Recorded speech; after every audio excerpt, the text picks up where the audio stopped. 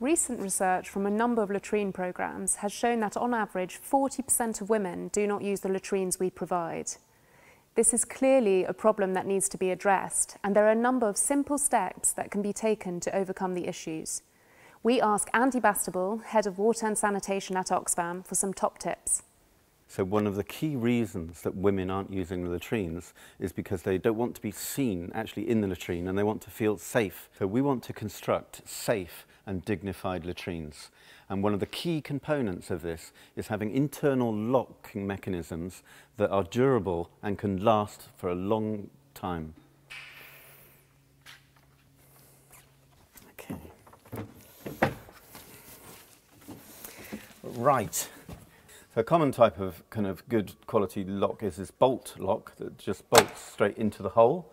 Um, another type is the hook into an eyelet.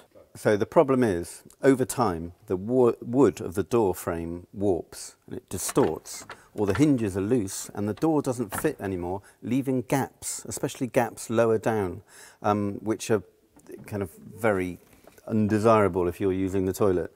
So, um, kind of the bolts um, kind of don't fit anymore. So the bolt is supposed to go in the hole, but you can't get it in the hole anymore because the wood is warped. The same with the hook. Um, the hook no longer fits in the eyelet anymore um, because of the wood warping.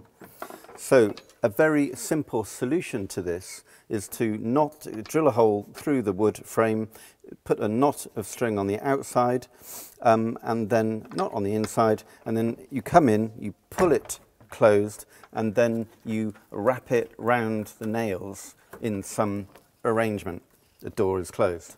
Um, you can do it with thinner string rather than rope and again wrap it round. Um, that's simple.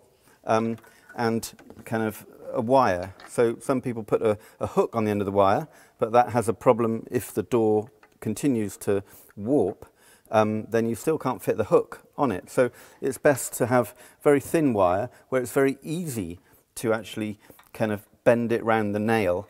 Therefore, you have a closed door. There are many simple solutions to the design problems we encounter. And next time, we're going to be asking Andy about the materials we can use to ensure maximum privacy for our users. So stay tuned.